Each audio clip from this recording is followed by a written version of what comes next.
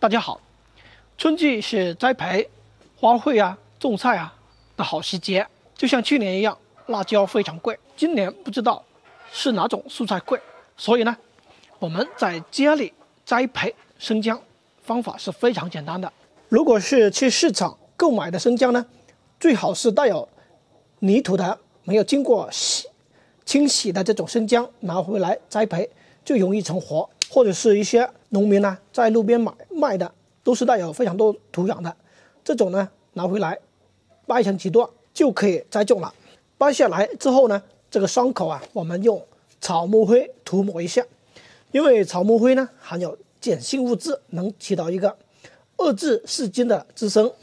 大家看一下，这个已经冒芽了，所以呢，选择这种比较健康的生姜来栽培，长根冒芽快。因为是栽培到花盆里面的，选择土壤呢，一定要疏松透气、肥沃的，最好是选择沙质土，因为呢，沙质土有利于植物的根系生长。用两份活沙加一份培育土，培育土主要是保水、保肥、富含有机质，用来栽培一些花卉啊，或者是一些蔬菜是非常理想的机质。加一份珍珠岩，珍珠岩呢好处非常多，利水性好，吸水性强。当植物的根系需要水分的时候呢，珍珠岩会释放水分。